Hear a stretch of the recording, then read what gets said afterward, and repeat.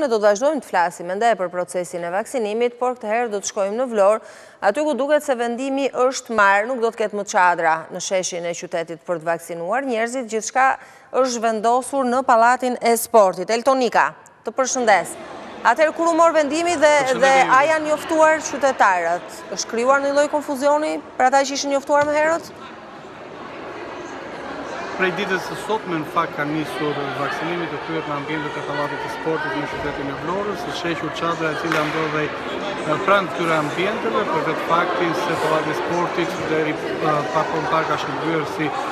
vend për komisionet zonale të administrimit të zgjedhjeve në përfundimin e tyre është rikthyer sërish ky ambient ku edhe nisi procesi i vaksinimit në qytetin e Vlorës. Në fakt që çadra e cila ishte e ngritur në qendër në zonën e Skelës ndodhej shumë pranë pallatit të sportit, çka duket se nuk ka krijuar konfuzion te qytetarët, pasi edhe ata që i janë drejtuar çadrës janë rikthyer më tej në pallatin e sportit, pasi është vetë afërsia që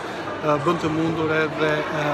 që qytetarët të njihen pra me vendin ku është duke u kryer tashmë procesi i vaksinimit. Normalisht, të paktën nga ajo çfarë më është thënë, ka patur një komunikim me mjekët e familjes për të njoftuar ata të cilët do të kryejnë procesin e vaksinimit për t'u drejtuar ambienteve të pallatit të sportit, por gjithsesi ka patur dhe nga ata qytetarë të cilët i janë drejtuar çadrës, por fakti e thashë Juli meqë ndodhet shumë afër me pallatin e sportit, nuk ka krijuar probleme tek qytetarët. Sot është duke vijuar vaksinimi për të sëmurët kronikë të cilët janë duke marrë AstraZeneca dhe Pfizer, dozën e parë dhe të dytë. Popullsia masive është duke marrë vaksinën kineze, dozën e dytë të Sinovac, ndërkohë që në një ambient tjetër i cili ndodhet pranë një shkolle nëntëvjeçare në palestrën e saj, është duke u kryer procesi i vaksinimit për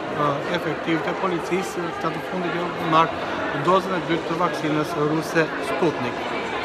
Mirë, Elton, sa i takon interesit të qytetarëve meqenëse në shumë zona siç është Elbasani, ka nisur mbi 50 vjeç, pra duket se grupmoshat gradualisht do fillojnë të ulen tani, edhe për të rinjtë do t'u vijë radha, le të themi për të marrë, për të marrë vaksinën ndoshta shumë, shumë shpejt. Sa të interesuar janë, një pjesë e mirë e qytetarëve kanë kaluar koronavirusin? Atëherë, Juli, unë kam dhe një numër një shifër të, të, të konfirmuar në rrugë zyrtare nga institucionet e shëndetit publik në Vlorë, deri ditën e djeshme. Pra, kur që kur ka nisur procesi i vaksinimit në Vlorë prej 18 shkurti, deri ditën e djeshme, pasi sot nuk janë ende bërë kalkulimet për personat që do të vaksinohen dhe janë rreth 21.900 persona të vaksinuar në Vlorë. Por, duhet të kuptojmë që në këto vaksinime janë Mjekët, personeli shëndetësor, operatorët turistikë, punonjësit e turizmit të cilët kanë nisur, policët, popullsia masive, pra kemi një shifër në rreth 21.900 persona, arsimtarët edhe të cilët presin të marrin dozën e dytë të vaksinës AstraZeneca, edhe për këtë mund të flasim sepse nga ajo çfarë më është konfirmuar, nuk kanë nisur arsimtarët ende dozën e dytë të vaksinës AstraZeneca, pyetur për këtë fakt, më kanë thënë që është Një vaksinë e cila dozën e dytë e kryen pas një periudhe gati tremujore. Pra, nëse merr dozën e parë të AstraZeneca-s, duhet dozën e dytë do ta marrësh pas një periudhe tetëjavore dhe kjo ndoshta lidhet me faktin që arsimtarët ende nuk kanë marrë dozën e dytë të kësaj vaksine. Për momentin do të vijohet vaksinimi të kryhet në këto ambiente, pra pallati i sportit do të mbetet si qendra kryesore ku do të kryhet dhe procesi i vaksinimit, veç asaj ku është duke u kryer për efektivët e policisë me dozën e dytë të vaksinës ruse Sputnik. Për popullsinë, pra për ata të cilët janë duke marrë